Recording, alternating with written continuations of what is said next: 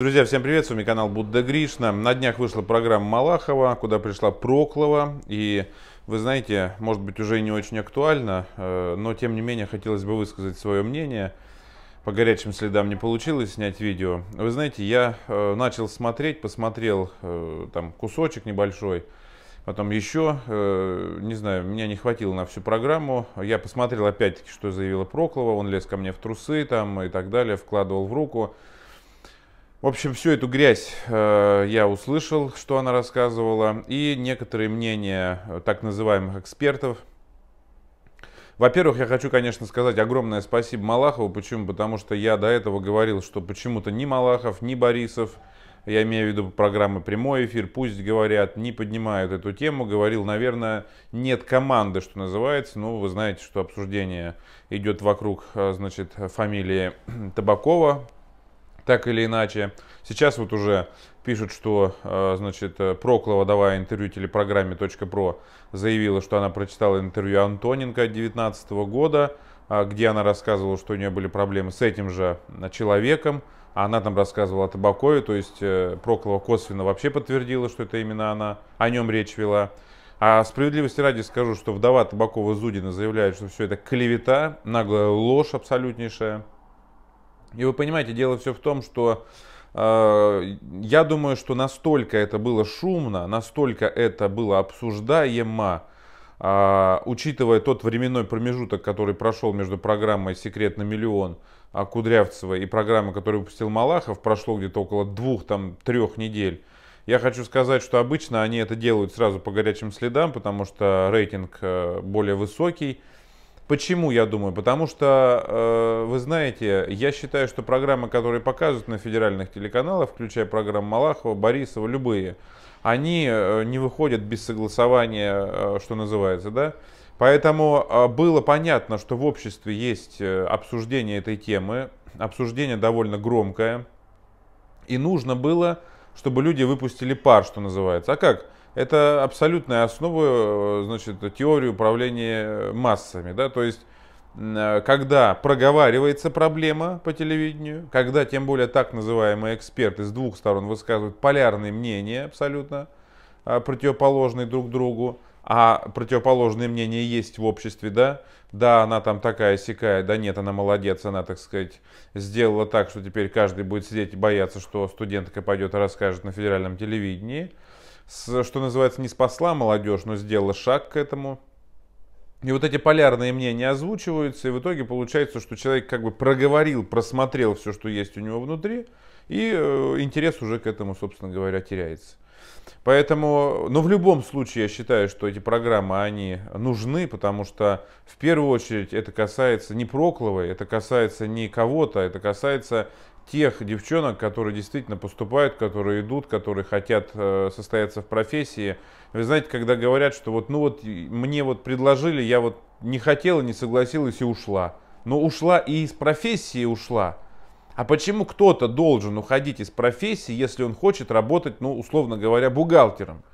Из-за того, что везде предлагают э, ноги раздвинуть? Или э, девушка хочет быть актрисой? Почему она должна уходить из профессии-то, я не могу понять. Потому что, э, значит, предлагают раздвинуть ноги, она должна э, из чувства собственного достоинства сказать, ну хорошо, я, так сказать, э, плюну на свою мечту. Женщина это такая же абсолютно личность, как мужчина. У нас в нашем обществе, еще раз скажу, абсолютно не привыкли говорить об этом. Женщина абсолютно такая же личность. И она реализуется, да, разные абсолютно миссии, что называется, у мужчины и у женщины на Земле. Но реализуемся мы все как люди, как личности совершенно одинаково. И Божье зерно, которое в нас заложено для реализации каких-то своих способностей, оно разное, но оно заложено. И поэтому, когда говорят, что ну, женщина там э, хотела стать актрисой, ну ничего, предложили ноги раздвинуть, э, вот я отказалась, ушла и пошла работать, полы мыть. Ну и, и я не могу понять, и где здесь, э, в чем здесь плюс? В том, что она отказалась плюс или в чем? Здесь единственный жирный минус я вижу в том, что женщине ее вынуждают отказаться от своего божьего зерна, она чувствует, что я хочу быть экономистом, мне это нравится, не знаю, адвокатом или еще кем-то. Ее вынуждают отказаться от этого а, под, э, значит, э, тем, что склоняют к определенного рода вещам, ставя в зависимое положение. Это ужасно, это абсолютно недопустимо. И я считаю, что эти программы, конечно, имеют особую ценность. Я действительно хочу поблагодарить Малахова, несмотря на то, что я критиковал его программы и так далее. Все это понятно, что там что скажут, то, то и делается. Это уже давно, никакого независимого нет ничего. Но, тем не менее, вот по, э, по сюжету программы, я считаю, что вы знаете, то, что пригласил туда он э, Дану Борисову, вот эту Калашникову, я уже не досмотрел до них, потому что я не, не могу смотреть, но э, понятно, что ему нужно было наполнить программу чем-то, понятно. Э, и э, кого-то поавторитетнее найти очень сложно, кто пришел вот так вот, как Проклова заявлял. Она оказалась в принципе одна, одна, которая пришла и заявила. И э, нужно было наполнить. Ну вот он наполнил теми, кто в принципе готов, мне кажется, в любую программу прийти и об этом рассказать. Э, Дана Борисова и так далее. Но они немножко уровень Прокловой опустили. Вот это э, я отметил, да, то есть, ну вы понимаете, Калашникова, кто такая Дана Борисова и так далее. И когда они начали садиться рядом с Прокловой, все это рассказывать, они немножко опустили уровень программы, уровень заявлений Прокловой, да.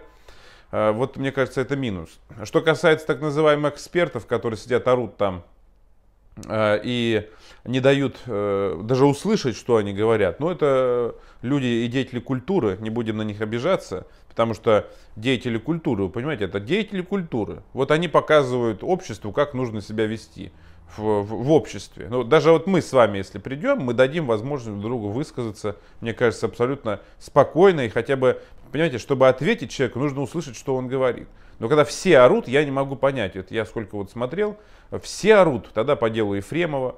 И э, это просто невозможно. Как можно отвечать, если не слышишь, что говорит человек? Вот мне просто интересно. Там каждый говорит свое. Там не важно услышать, там не важна дискуссия. Там важно просто вот проорать то, что ты хочешь, я не знаю, или то, что ты должен. Вы знаете, когда я не согласен здесь, мне очень нравится Яна Поплавская, я зачастую поддерживаю ее мнение. В данном случае я был абсолютно не согласен, потому что она жестко раскритиковала Проклову и так далее. Но можно заткнуться, всем молчать. Вот, можно заткнуться, молчать, об этом не говорить. Ну и, в общем-то говоря, тогда а, будет что продолжаться? Что мы узнали? Вот мы, я сроду знать не знал, что в кинематографе есть вот такие вещи. Понимаете, теперь советские фильмы включаешь, они вообще в другом свете, ты их смотришь. Вообще кинематограф теперь по-другому воспринимается. Поэтому, э, значит, э, когда представляешь, что там в гримерках может твориться – Поэтому, конечно, может быть, им не хочется, чтобы это все выносилось. Там сидели э, люди, которые уже, э, что называется, на политические темы э, высказываются и зачастую это делают. Почему-то они там тоже жестко гасили Проклову, извините за выражение, да. Видимо, нужно эту тему замять, погасить, чтобы, понимаете, ничего не было громкого. Если что-то громкое становится, сразу можно на это понавешать все, что угодно. Сейчас Проклову обвинят в том, что она поддерживает кого-нибудь там, я не знаю, э, значит, э, не того, кого надо, какие-нибудь нежелательные организации своими высказываниями на самом деле. Понимаете? То есть э, важно запустить как можно больше государственных органов карательных, которые смогут, так сказать, Проклову закрыть рот ей.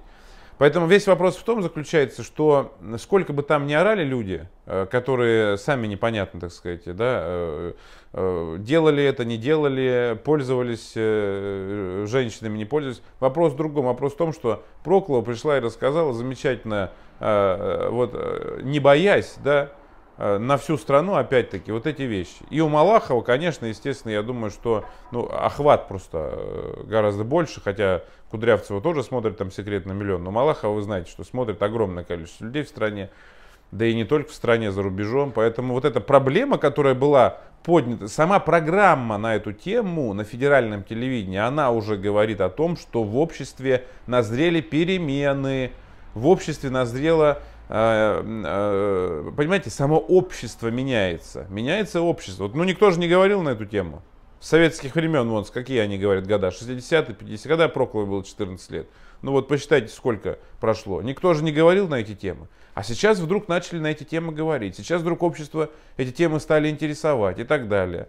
Качество фильмов – настолько стал интересовать, что люди об этом говорят. Поэтому, мне кажется, общество меняется, и это вот как раз тот эволюционный путь, о котором я говорил. И появление таких программ – это невозможность. Я не думаю, что кто-то бы сильно хотел, кто-то сильно хотел, чтобы эти программы появились. Но э, я думаю, что э, эта программа – это невозможность более игнорировать э, те изменения в обществе, которые есть, и которые говорят, что э, не может быть как раньше. Не может быть, чтобы как раньше распределялись роли вот так, ты сюда на диванчик, а ты туда, ты сюда на диванчик, а талантливая давай гуляй, ты сильно ретивая. Нет, меняется поколение. Поколение а, приходит молодой, который говорит, мы имеем право, мы не будем терпеть здесь какого-то старпера, который нам будет а, на диванчик нас. Понимаете, вот в чем дело.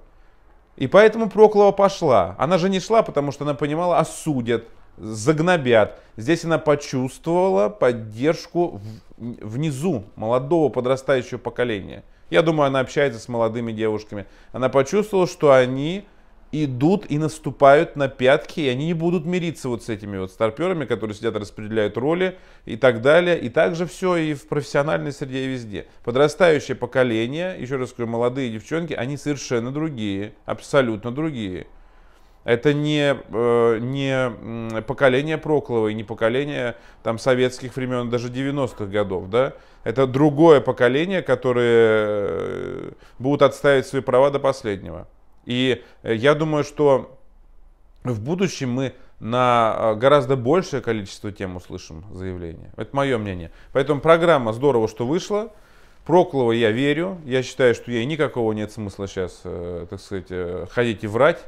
Вы понимаете? То есть, когда говорят, там она хочет денег заработать, просто вдумайтесь на секундочку. У нее есть родственники, у нее есть дети, у нее там есть... И вот это все, представляете, им как вот, чтобы запомнили ее таким – Э, путем. Плюс ко всему, она очень четко говорит, что э, работала с психологом, прорабатывала это все, и это слышно в ее речи, что это все действительно прорабатывалось. Не знаю, я ей верю и считаю, что абсолютно здорово, что она об этом обо всем рассказала. Вот. А те, кто на нее набрасываются, как коршуны, ну это старая формация, которым надо вот, чтобы все это было как Табаков, помните, побежал, когда Антоненко рассказывал и кричал, не нужно ссоры из избы выносить. Вот у них ссоры из избы не выносить. Они все вот цеховая, так скажем, у них солидарность и так далее. Но подрастающее поколение не хочет цеховой солидарности. Подрастающее поколение хочет, чтобы было все по критериям таланта. Хотя э, в то же время можно сказать, что подрастающее поколение сами готовы, так сказать. Им не надо, чтобы кто-то там к ним в трусы лез или что-то еще. Это в советское время никто ничего не знал. Поэтому Проклова говорит, мы не знали, как, что, что такое любовь, как это проявляется. Сейчас э, молодая девушка, придя, она старпера этого научит тому, что он в жизни никогда не видел и не знал. Вот в чем разница. Друзья, интересно, смотрели ли вы эту программу? Крайне интересно ваше мнение. Пишите, пожалуйста, комментарии, потому что мы с вами Проклу обсуждали довольно долго, а здесь вышла такая программа, и просто интересно, что вы думаете на сей счет. С вами был Будда Гриш, друзья. Подписывайтесь на канал, кому интересно. Куча новых фотографий, прямой эфир скоро в Инстаграм. А, Что-то вас так мало, не знаю, может быть у вас аккаунтов в Инстаграм нет, но у кого есть, скорее вперед подписываться. Будда Гришна, нижнее подчеркивание, единичка на латинице или на русском Будда Гришна. Три российских флага в поиске. Это мой инстаграм. Всем пока, друзья. До встречи.